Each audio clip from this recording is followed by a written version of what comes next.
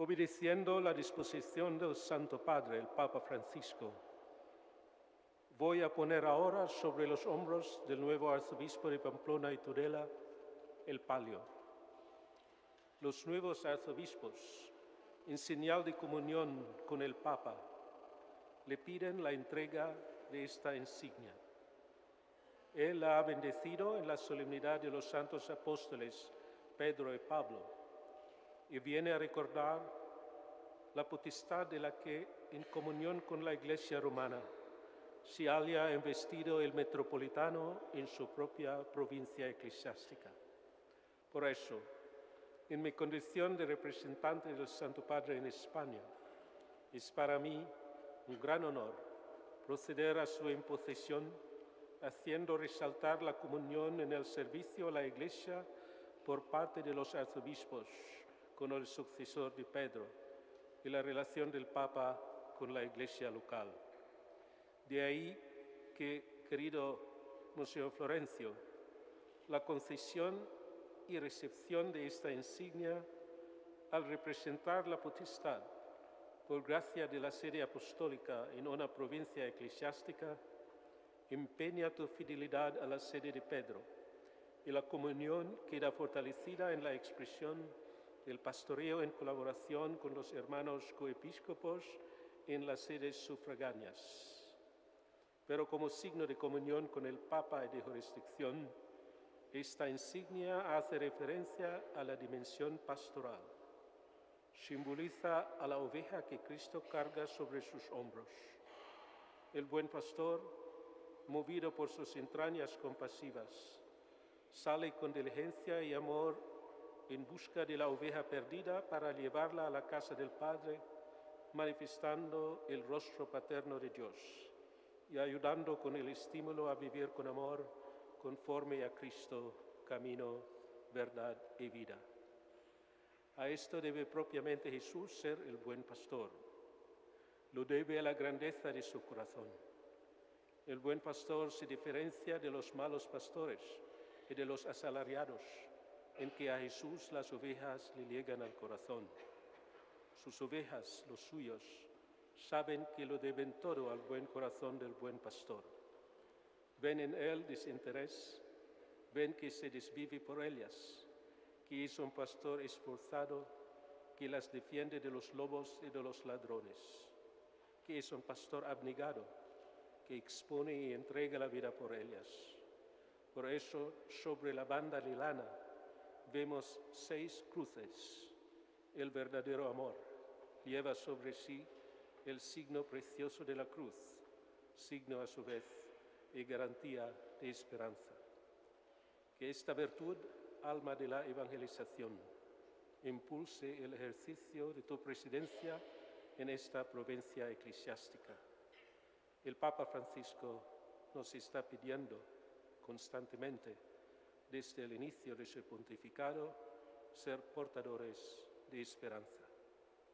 La Iglesia necesita esperanza para que incluso cuando experimente el peso de la fatiga y de la fragilidad, no olvide nunca que es la esposa de Cristo, amada con amor eterno.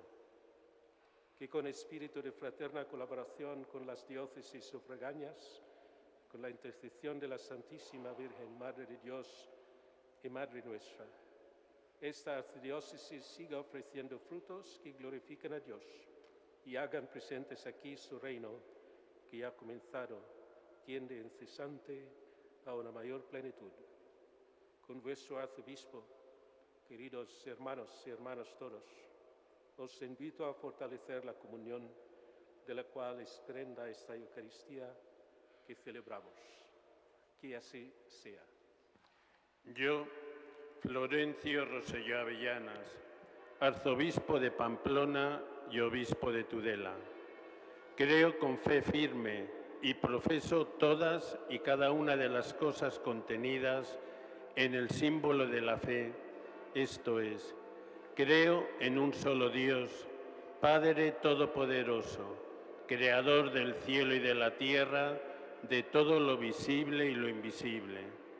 Creo en un solo Señor Jesucristo, Hijo único de Dios, nacido del Padre antes de todos los siglos, Dios de Dios, luz de luz, Dios verdadero de Dios verdadero, engendrado no creado, de la misma naturaleza del Padre, por quien todo fue hecho, que por nosotros los hombres y por nuestra salvación bajo del cielo, y por obra del Espíritu Santo se encarnó de María la Virgen y se hizo hombre, y por nuestra causa fue crucificado en tiempos de Poncio Pilato, padeció y fue sepultado, y resucitó al tercer día según las Escrituras, y subió al cielo, y está sentado a la derecha del Padre, y de nuevo vendrá con gloria para juzgar a vivos y muertos, y su reino no tendrá fin.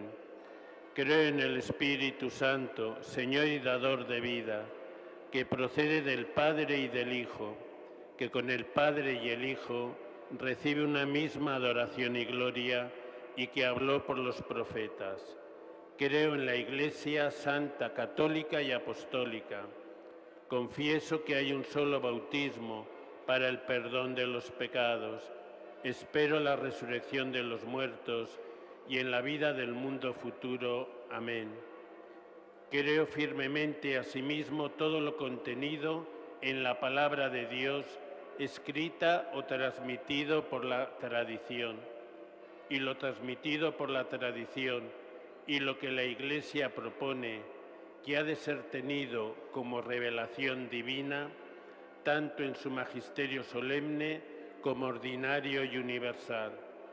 Acepto y sostengo con firmeza todas y cada una de las cosas que la Iglesia propone definitivamente en materia de fe o de costumbres.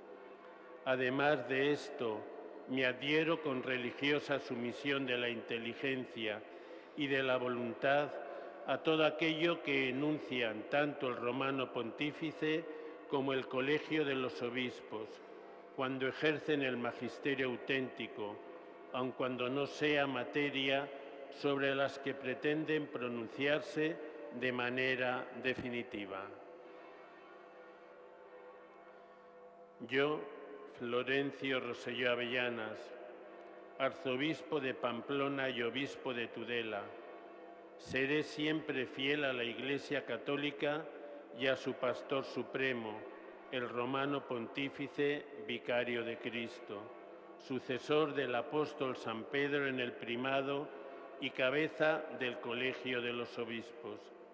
Me someteré a la potestad primada, primada ejercida libremente por el sumo pontífice en toda la Iglesia, y me empeñaré en promover y defender sus derechos y autoridad.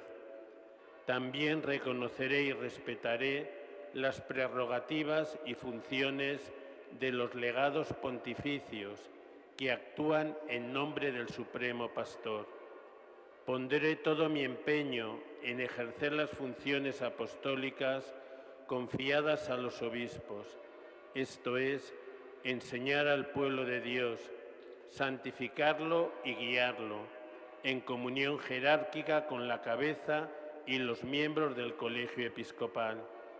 Defenderé la unidad de la Iglesia Universal y haré todo lo posible para que se conserve puro e íntegro el depósito de fe transmitido por los apóstoles y se expongan y enseñen a todos las verdades que se han de, que de creer y las costumbres que han de llevarse a la práctica, tal como son propuestas por el magisterio de la Iglesia. Con espíritu fraterno me dirigiré a quienes están en error de fe, haciendo todo lo que esté en mis manos para que lleguen a la plenitud de la verdad católica con la mirada puesta en la imagen de Cristo, sumo y eterno sacerdote, me comportaré piadosa y santamente, cumpliendo así el ministerio que se me ha confiado, de tal modo que, convertido de corazón el modelo de la Grey, sea capaz de confirmar a los fieles en la perfección cristiana que han de alcanzar.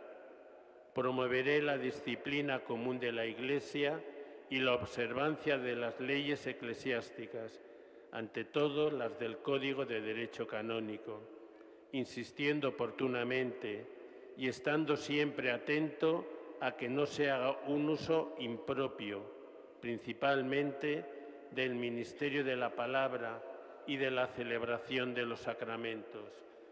Pondré especial cuidado en administrar los bienes temporales de la Iglesia y muy particularmente en aquellos que están destinados al culto divino, al honesto sustento del clero y demás ministros, así como al apostolado y obras de caridad. En el ejercicio del encargo que se me ha confiado, atenderé con especial predilección a los presbíteros y diáconos, prudentes cooperadores del orden episcopal, así como los religiosos y religiosas que participan en su misma y única misión. Fomentaré con todas mis fuerzas las vocaciones consagradas para que sean convenientemente atendidas las necesidades espirituales de toda la Iglesia. Reconoceré la dignidad propia de los laicos y proveeré a su participación en la misión de la Iglesia. Con particular solicitud, cuidaré de fomentar las obras misioneras para la evangelización de las gentes. A no ser que esté impedido, asistiré o responderé oportunamente a los concilios y demás legítimas acciones a las que sea convocado. Daré cuentas de mi oficio pastoral en los tiempos prescritos o en, las ocasiones establecidas por la sede apostólica, a la vez que acogeré con sumisión los mandatos y sugerencias que reciba de ella, realizándolas con máximo cuidado. Con la ayuda de Dios y de estos santos evangelios de Dios, que toco con mis manos. Para gloria de Dios omnipotente y para alabanza de la bienaventurada siempre Virgen María y de los santos apóstoles Pedro y Pablo, en nombre del romano pontífice, el Papa Francisco y de la Santa Iglesia Romana, para honor de la sede de Pamplona y de Tudela, que te ha sido encomendada como signo de la potestad metropolitana te entregamos el palio tomado de la confesión de San Pedro para que lo utilices dentro de los límites de tu provincia eclesiástica. Este palio será para ti símbolo de unidad y signo de comunión con la sede apostólica. Sea vínculo de caridad y estímulo de fortaleza, estímulo de fortaleza, para que el día de la llegada y de la revelación del gran Dios, del príncipe de los pastores, Jesucristo, recibas con las ovejas a ti encomendadas el vestido de la inmortalidad y la gloria. En el nombre del Padre, y del Hijo, y del Espíritu Santo. Amén.